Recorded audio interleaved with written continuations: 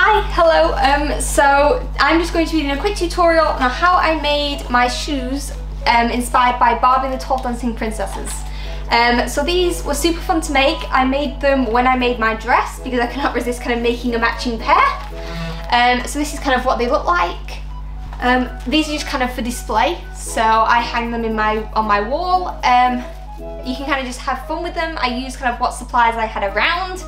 So I kind of taught you through how I made them. But I first started off with a cheap pair of pointe shoes from Amazon. I think they're about 15, 20 pounds. Um, that I kind of just got any old one because I knew I wasn't going to be wearing them so it didn't really matter um, how good a quality they were.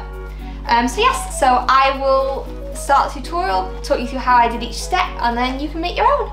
Um, so let's go. Okie dokie, so the first step is painting your shoes. So it'll depend on which sister you picked. Since I picked Genevieve, I'm using two tones of pink. I bought these pointe shoes cheap off Amazon just because I'm not planning on dancing in them, they're just for display, so it did not really matter what they were like. First step is to prep them.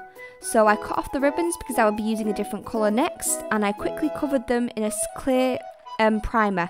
I'm using spray paint to paint the shoes, so I sprayed them in a spray primer, but it'll depend on what paint medium you're using. If you're using a paint, you could try Mod Podge or something.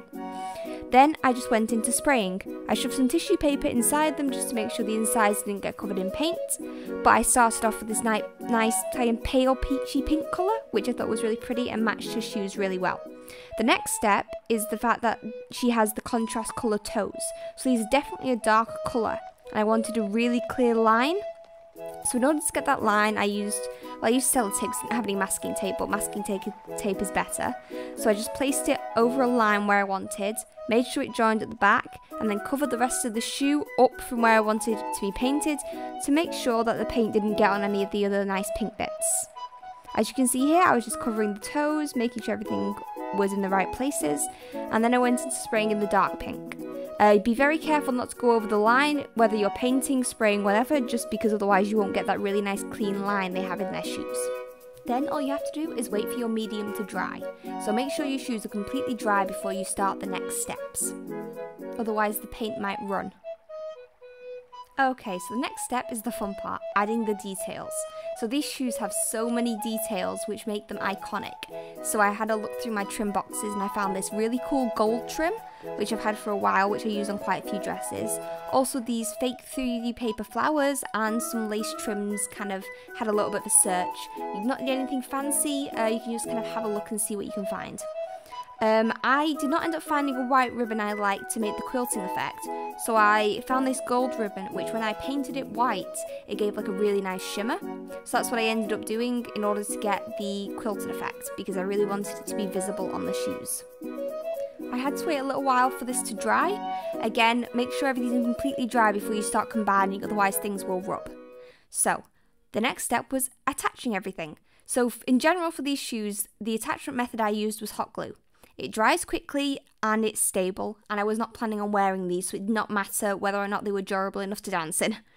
Um, so I went around the shoe with my hot glue gun, measured kind of by eye because I thought it was easier and it's harder to measure on the curve, and got my little squares. Um, I had to go back in with the paint again because I miscalculated how much gold trim I needed. Um, so I just used the plain white acrylic paint and painted over this little gold trim and then touched up any of the little bits of white that smudged or weren't quite as visible. And as you can see, I got a really nice quilted effect. There I am struggling to hold the shoot to the camera. I'm sorry about that. I was still working out how on earth it worked. There's Erika in the background when I was working on my Princess and the Pauper dress. So once I finished up touching up all the white stripes, that is how they looked. So I got them done first because they were kind of the base for all of the detail to move around in and yay, and did the other shoe. Yes, make sure always do the other shoe. So the next step was adding the gold band which covers the join between the two colours.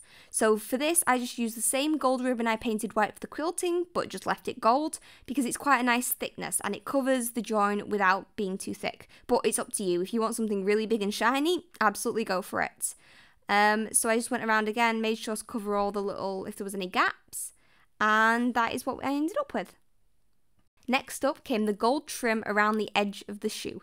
So I tried a few different things to see how, how they would look, but I ended up with this gold jewel trim. It's really pretty and it has like a gorgeous sparkle to it and it has that kind of crimped edge that it does in the actual film. So as you can see, it looked really pretty um, and it's kind of the right thickness because you can still see the pink. Then I used some extra satin that I had left over from Genevieve's actual dress, so I used this for the sleeves and the bodice so it would match in colour, to make the little bows. This was super simple, I just took a little square and folded it both ways and crimped it in the middle and you end up with a bow. I also used a little bit of extra just to kind of cover the centre, but since I knew a flower was going in the middle anyway, I knew it did not really matter about covering the centre too much. And that is how I measured the bows. Equally, you can just buy a few bows um, in the right size, you don't have to make them, but since I made her dress, I knew I wanted to match the colours. Again, applied with hot glue, and then my favourite part, the rhinestones. So I always saw these as the sparkliest shoes ever. So I really wanted to add some extra rhinestones. So in the little um, joins of the squares in the quilting on the shoe, I added these really pretty like pink rhinestones. They're not too big that they look um, overwhelming on the shoe, but they add that extra bit of sparkle, which I really liked. And here we go. So here is one of the shoes. Um, when you are doing a pair, you do have to do both. So here is the other. Oh, sorry, the lighting's a bit dodgy there. Um, the next step was then the final step in the end, applying the ribbons. So I found this really nice pink ribbon that I liked the colour of, and it was the perfect thickness. So I know a lot of the dancers in the comments were slating me for this, but I promise I'm not dancing them, they're just for display. So I hot glued the ribbons onto the inside just so it was kind of neat and finished. Um, measured out the lengths. I made them very long because in the film they are kind of very long and I wanted to hang them by the ribbons in my room. So I made sure to make them uh, quite a decent length. And you can always trim them at the end, but you cannot add more if you already added them, if that makes sense. So I just kind of folded over the edges, made sure there were no raw edges so nothing would fray, and attached them at the same points on the shoe. I really enjoyed making these shoes. Um, they were a dream when I was a kid, so having them kind of to display in my room and with my dress was really lovely. And my favourite part, the final result. Making these were a lot of fun and it was a cute little side project when I made her dress and I'm really happy with how they came out. I hope you guys liked them and I hope this tutorial kind of gives you an idea of how you can make your own. Um, here's a bit of a view of how they ended up looking. And these are the final results. So as you can see, you've got both shoes, you've got the little flower at the front, the gold trim, um, and yes. Um, so I had a lot of fun making these. I saw these a lot as a kid, so um, actually having a pair was really fun. If only I did ballet, it would make it even more fun. but for now, I'm quite happy to have them hanging on my wall. Um, so yes, so by all means try and make your own. Again, these were for display, so please not try and dance them if you don't know what you're doing because you might hurt yourself. Um, so yes, thank you so much for watching. I hope you guys had a lot of fun or kind of um, enjoyed watching and I hope you all have a great day. Uh, if you want to see more stuff like this, I am making a tutorial for how I made the actual dress um, and I'm going to be making a short version as well. So you guys can kind of see, make a matching pair if you want. Um, so yes, so I hope you all have a great day. Uh, thank you so much. If you liked this, please follow and thank you so much. Have a nice day.